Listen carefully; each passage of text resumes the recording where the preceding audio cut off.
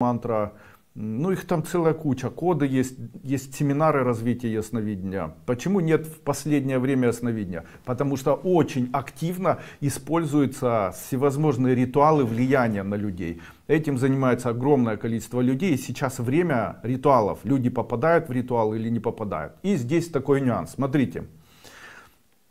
Почему возникают войны? Связано ли это с людьми? Конечно же это связано с людьми, но если рассмотреть, до этого не было войн больших, потом они появились. С чем это связано? Обычно это связано с планетарными изменениями. В тибетской или в Джойтиш, допустим, не так. Возьмем Джойтиш. В Джойтише говорится, что когда планеты между собой подходят близко друг к другу, то в этот момент могут происходить элементы напряжения между странами. Ну и э, а, элементы напряжения между странами в этом году происходят, потому что планеты Кету, потому что Раху, потому что Сатурн, а, потому что там все это между собой объединяется и находится очень близко, то есть очень близко подходят друг к другу.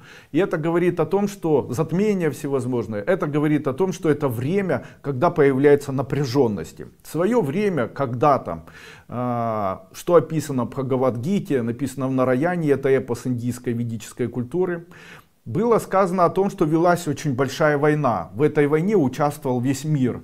И астролог предсказал эту войну и сказал, с этого момента, из-за того, что эти планеты подошли очень близко, э, будет война длиться 177 лет.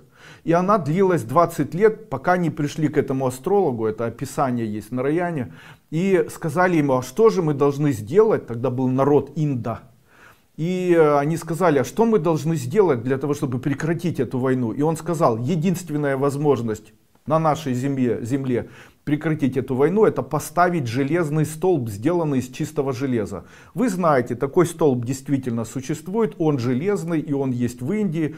Одно из чудес света до сих пор не знают, как они выплавили это. И удивительно, там, uh, удивительный столб, который при этом не ржавеет, и который сделан из чистого железа. Почему? Тогда было другое время, и тогда были высокие технологии, о которых мы не знаем. Ну и, конечно же, этот столб существует до сих пор, и в него даже англичане когда-то пытались выстрелить из пушки, а, ядро попало, но этому столбу ничего с ним не произошло, он никак не повредился, не сломался, ничего не произошло. Таких столбов мы можем наблюдать несколько. Такой столб был в Стамбуле, который потом спилили в Греции и так далее.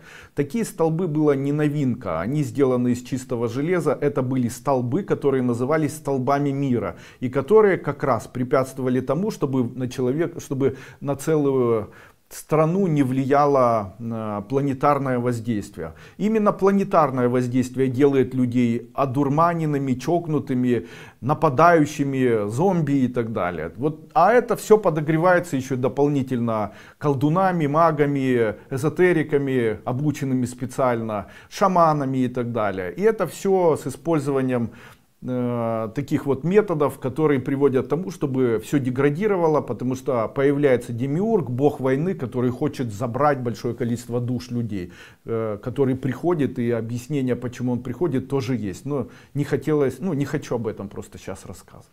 Ну и здесь такая тема, зачем я это все рассказал?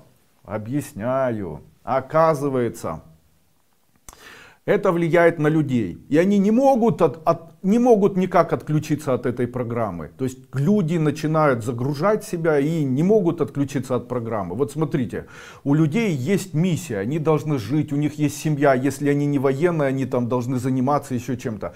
Но попадая в этот эгрегор войны, они не могут ничего сделать. Но по идее если ты не военнослужащий, то должен помогать там этому миру, то есть делать бизнес, содержать людей, содержать матерей, содержать больницы, платить налоги, создавать что-то. Но человек, даже который э, вот понимает это, не может ничего сделать. Люди перестают есть, перестают жить, перестают там сажать, копать, они перестают. И, и они попадают вот в этот эгрегор э, военный, войны. И на них это влияет. То есть вот эта полоса, которая прошла через вот эти страны, оно заставляет этих людей ненавидеть, заставляет этих людей занимать позицию, заставляет их быть категоричными. Можно ли назвать это такой тотальной омраченностью? Несомненно. Это и есть тотальная омраченность. Но можно ли этому как-то помочь? Конечно. Чем можно помочь? Ответ тут же возникает. Это обычное железо. Его необходимо одеть на себя. Смотрите, я ношу железное кольцо. Мне стало легче. Если в начале я сидел и не вылазил с интернета, потом я понял и одел железное колечко. Но еще лучше не одевать железное колечко, а одеть железный обруч. Не обязательно у меня нужно их покупать. Вы можете взять обычную железную проволоку и одеть на запястье левой руки. Или на ногу одеть, или там на шею, куда хотите можете одеть. Главное, чтобы она была железная.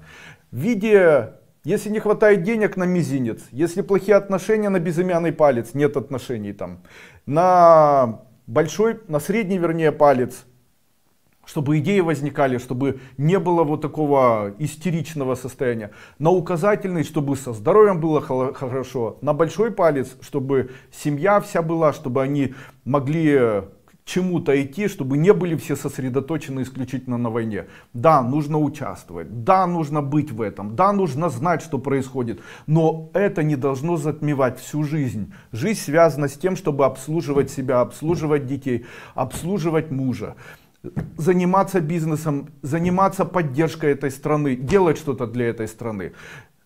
Идти воевать или там участвовать где-то в том, что поможет защищать эту страну. Или находясь за границей, не сидеть бесконечно и стонать, а искать что-то, выживать и так далее. Но омрачение такое, оно приходит, хватает, и человек ничего, никак, никаким образом не может с этим справиться. Такое омрачение существует. Отказаться, отрезаться от этого омрачения поможет просто железное колечко. Если бы все одели на себя железные кольца, то всех бы отпустило мгновенно. Я бы на всех одел.